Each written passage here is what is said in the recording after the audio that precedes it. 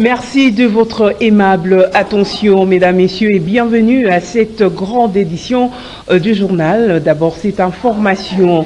La première ministre Judith Souminois a réuni son gouvernement ce mardi 4 juin 2024 à l'immeuble du gouvernement. L'équipe Souminois est attendue à l'Assemblée nationale dans un bref délai pour présenter son programme et solliciter la confiance des élus du peuple pour son investiture.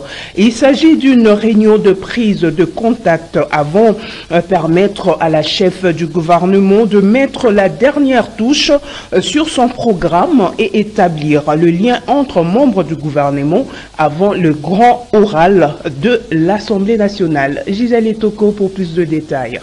L'équipe gouvernementale dévoilée le 29 juin dernier s'est retrouvée pour la toute première fois autour de la première ministre Judith Soumina Toulouka.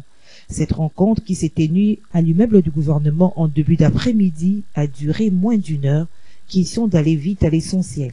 La chef du gouvernement, qui est déjà prête avec son programme depuis plusieurs jours, voulait à travers cette rencontre mettre l'ensemble de son équipe au pas, avant la présentation devant la représentation nationale du dit programme afin de solliciter l'approbation des élus du peuple. En effet, l'article 90, alinéa 4 et 5 de la Constitution du 18 février 2006 dispose qu'avant d'entrer en fonction, le Premier ministre présente à l'Assemblée nationale le programme du gouvernement.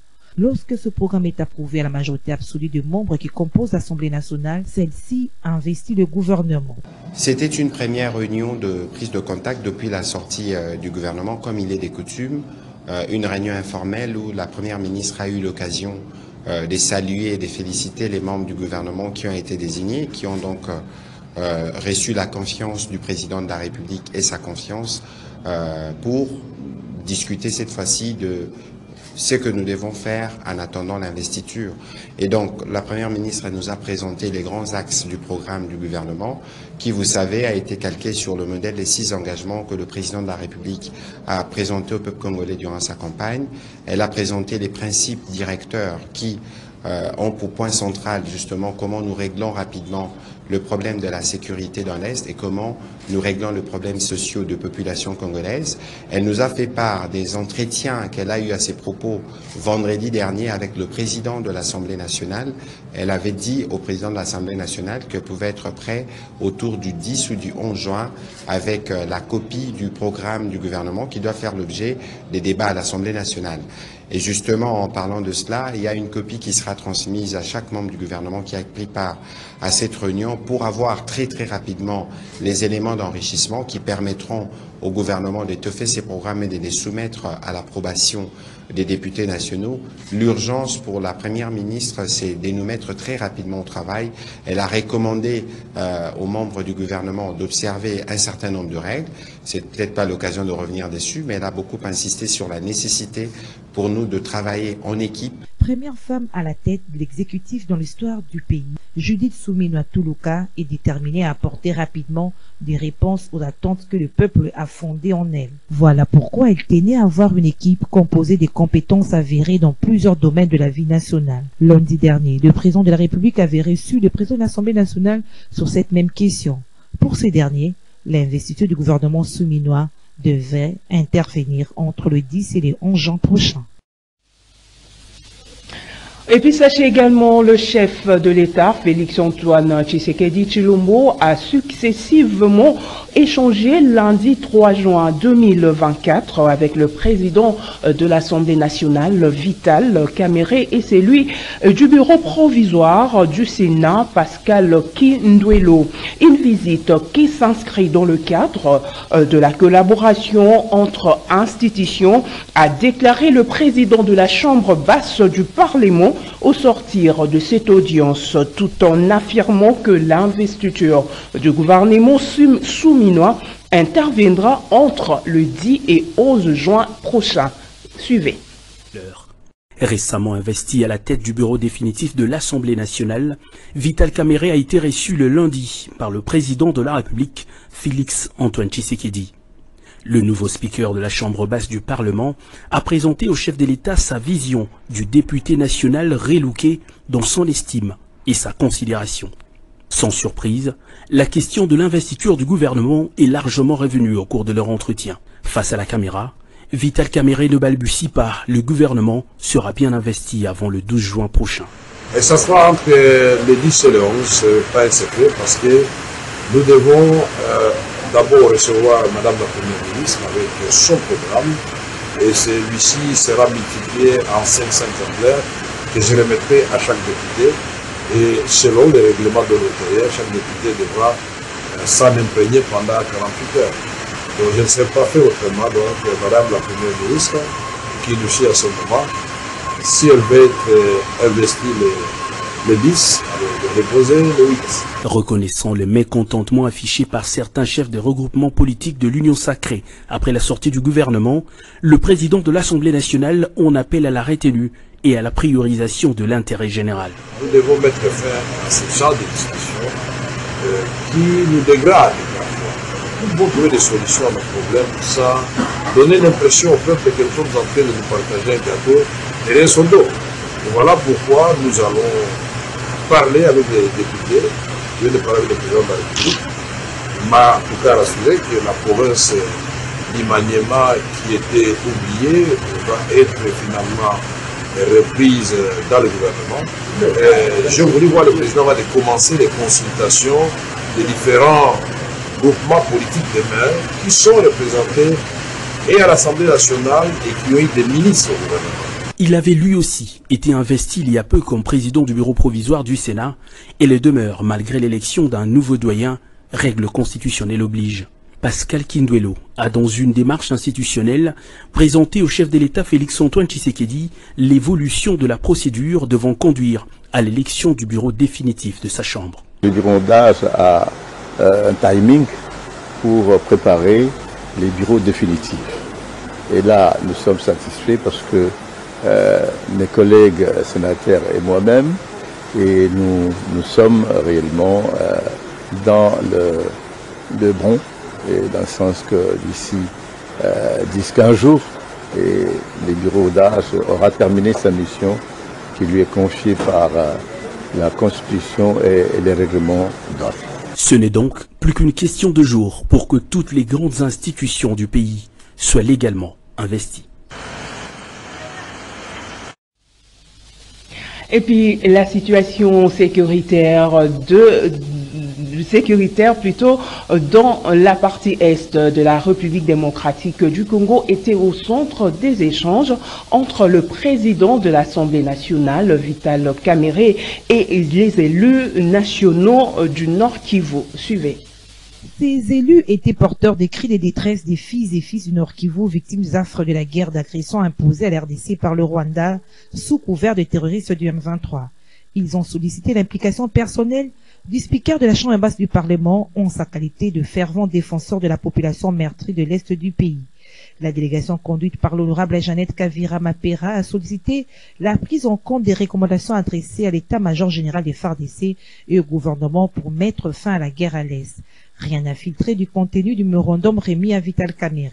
Nous sommes venus voir le président de l'Assemblée nationale tant que notre premier député par rapport à la situation de guerre qui sévit au nord Kivu depuis euh, maintenant plus de 14 ans. Mais aujourd'hui, euh, nous avons voulu lui parler de l'ampleur que prend cette guerre-là. Alors nous sommes venus lui parler de ce que depuis la mandature passée, nous avons fait beaucoup de lobbies.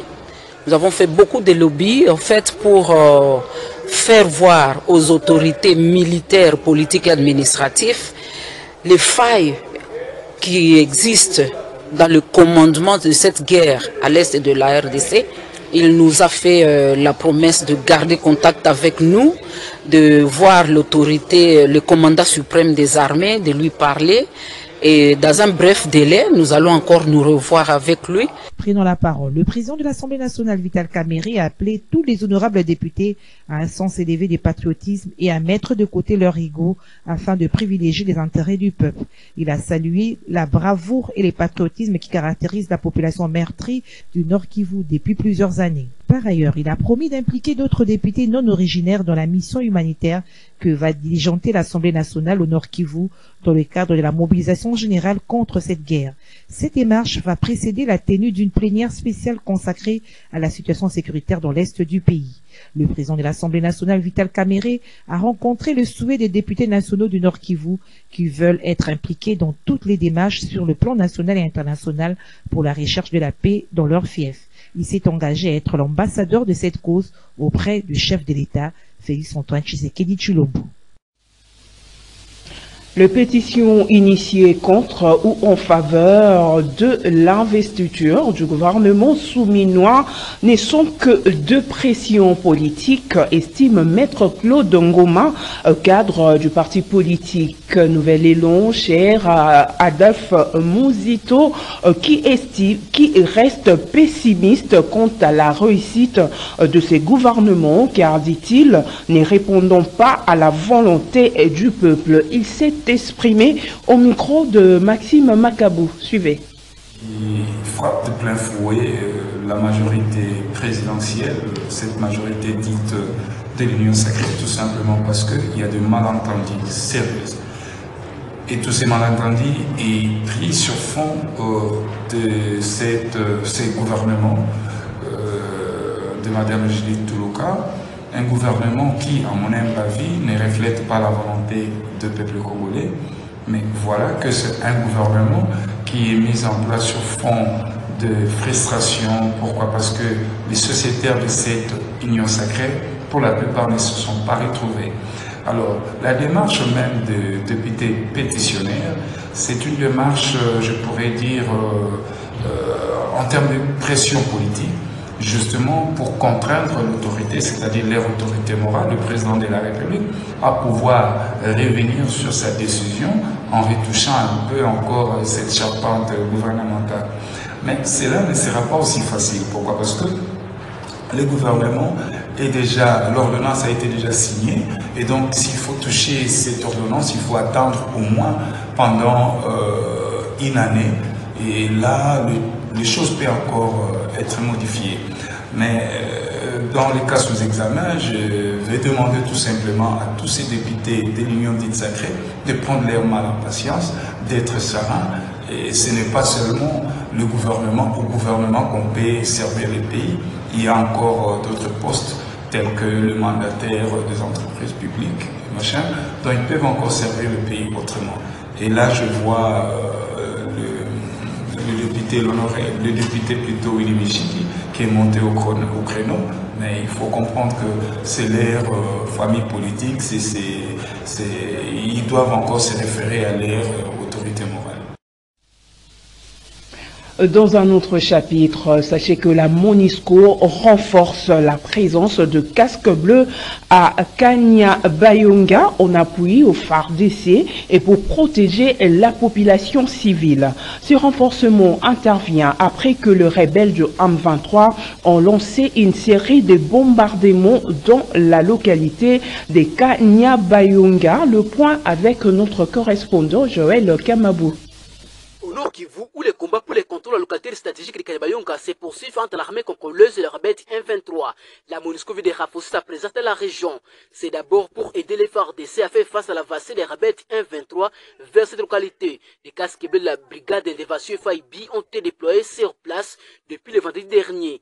Le second objectif de ces déploiements, la mission de l'ONU est de protéger les civils afin que les rebelles M23 les tuent dessous. Une réunion de coordination des opérations entre les deux forces a eu lieu samedi dernier.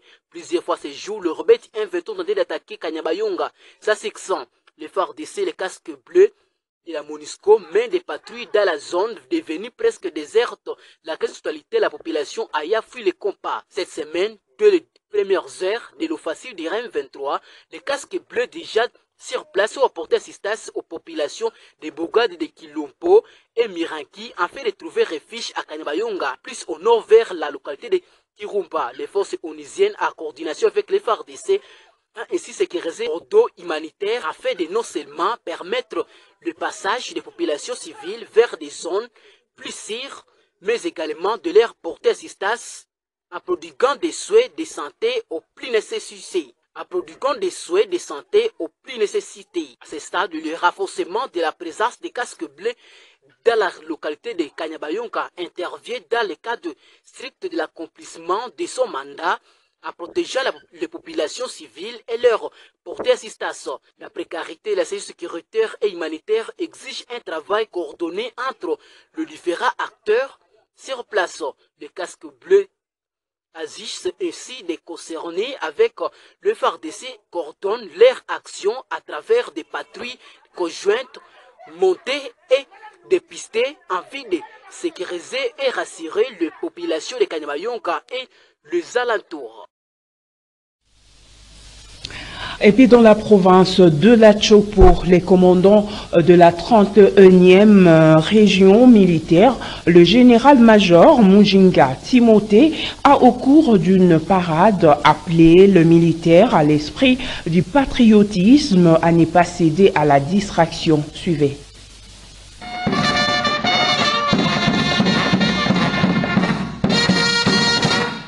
C'est au cours de cette parade de ce lundi 3 juin 2024 à l'état-major 31e région militaire que le commandant 31e région militaire et commandant en place a invité les militaires à ne pas céder à la distraction, à éviter la négligence et à avoir les attitudes militaires. Le commandant a voulu susciter dans ces militaires le sens de patriotisme et d'accomplir loyalement leur mission.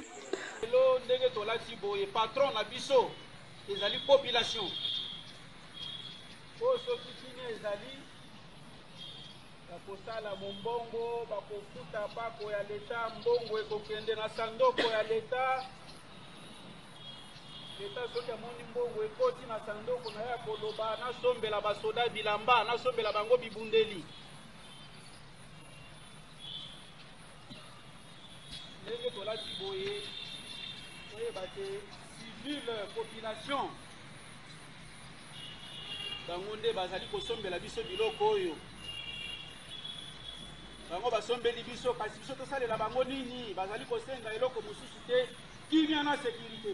Après, il a fait la ronde de toutes les directions pour s'assurer de, de l'assiduité de ses officiers. Il a clôturé cette visite au centre médical pour voir le niveau de la réhabilitation de ce centre médical de la 31e région qui sera doté d'un dépôt pharmaceutique. Il était accompagné de son adjoint chargé de l'administration et logistique, Kisangani, colonel Kawayam Namapol. Le en éducation, vous le savez sans doute, les élèves de 6e primaire ont clôturé ce mardi 4 juin 2024 les épreuves de l'examen national de fin d'études primaires. Nos reporters Srak Ngimbi et Lola Kinyamba ont interrogé quelques élèves sur le déroulement de ces épreuves. Suivez.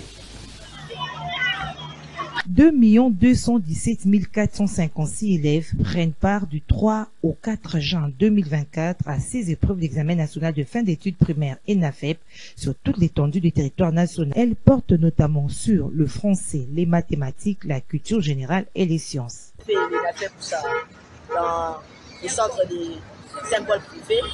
Bon, c'était pas vraiment, pas vraiment assez difficile, mais avec euh, la prière et un peu de concentration, c'était bon.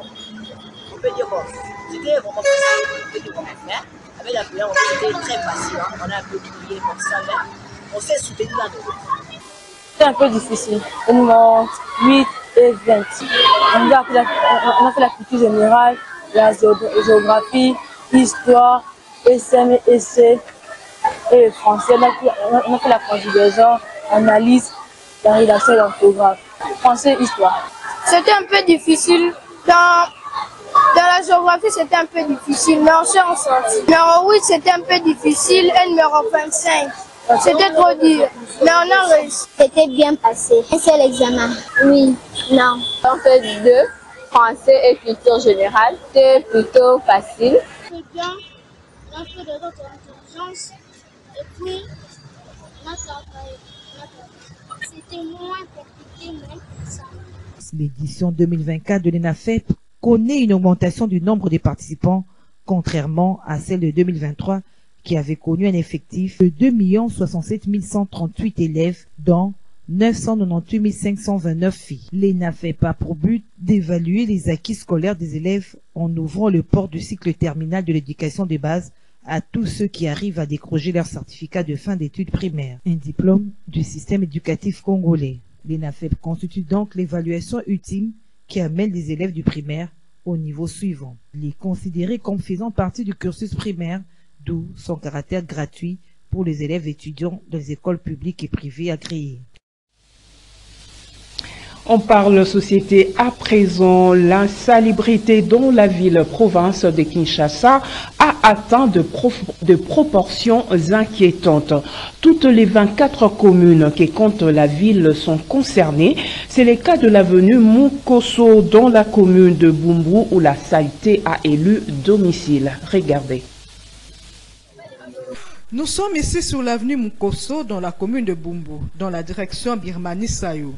Il ne fait pas beau vivre ici à cause de la saleté qui a élu domicile à cet endroit où de nombreux habitants jettent des ordures et autres déchets dans les caniveaux, cela en ignorant les conséquences néfastes que cette saleté peut avoir sur leur santé. Quelques personnes interrogées sur place lancent un cri de détresse à l'endroit des autorités urbaines afin de trouver une solution idoine à ce problème d'insalubrité, car tous les efforts qu'ils fournissent dans le curage des caniveaux ne suffisent pas pour rendre cette avenue salubre.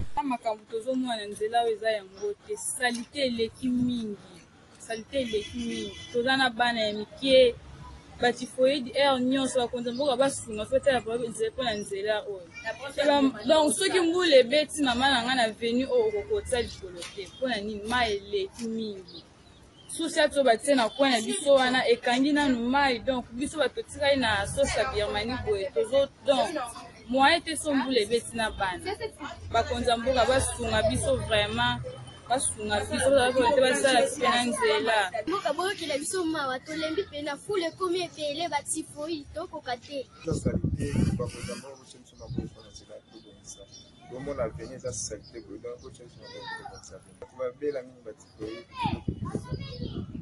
Il faut espérer que cet appel des habitants de cette partie de la commune de Bumbu sera entendu par les autorités municipales et urbaines pour leur permettre de vivre enfin dans un environnement sain et salubre.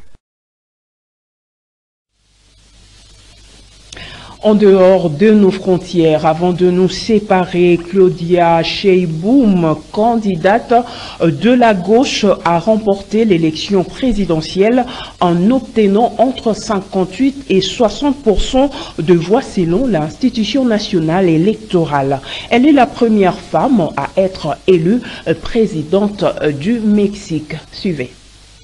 Ils étaient des milliers à l'attendre pour l'écouter, l'acclamer et la célébrer. Claudia Sheinbaum, candidate de la gauche et favorite des sondages, rentre dans l'histoire du Mexique. Ce n'est pas seulement moi qui arrive au pouvoir. Nous arrivons toutes, avec les héroïnes qui ont fait notre patrie, avec nos ancêtres, nos mères, nos filles et nos petites filles. Un résultat historique et paradoxal pour un pays qui compte plus d'une dizaine de féminicides par jour. La campagne présidentielle aura aussi été marquée par d'importantes violences. Deux personnes ont été tuées dans une attaque contre des bureaux de vote hier dans l'état de Puebla au centre du pays. Et au total, plus de 25 candidats ont été assassinés pendant cette période dans laquelle avaient lieu aussi des élections régionales. Claudia Sheinbaum sera confrontée également à un défi de taille, celui de la violence liée au narcotrafic qui mine le pays. Un bilan fait état de 450 000 morts et 100 000 disparus depuis 2006. La femme politique âgée de 61 ans était jusqu'à présent maire de Mexico, la capitale du pays. C'est une scientifique qui a obtenu un doctorat en ingénierie énergétique. Elle fait ensuite son entrée en politique aux côtés du président Andrés Manuel López Obrador, à qui elle va succéder et qui continue de la soutenir.